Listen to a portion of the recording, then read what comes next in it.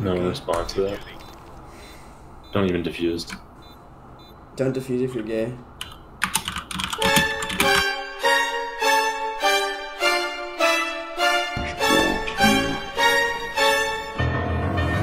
Defuse if gay? What do I do, Ethan? What do I do?